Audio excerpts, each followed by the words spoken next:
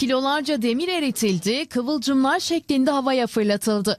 Çin'de gelenek bu yılda bozulmadı. İzleyenler hayran kaldı. Burası Çin'in kuzeyindeki Şansı eyaleti.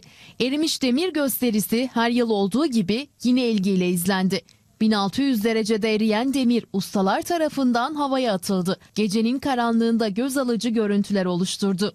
第一次见太阳五仁这个特色的东西，非常震撼。它感觉这整个是铁花在人的视觉眼前，特别一种炸开的感觉，非常棒，非常棒。 Ustalar bu gösteri için öğle saatlerinde çalışmaya başlıyor. Gösteri Çin'de Daşua adıyla biliniyor. Tarihi ise 300 yıl öncesine dayanıyor. Bu yöntem bölgedeki demirciler tarafından havai fişek kutlamalarına alternatif olarak geliştirilmiş.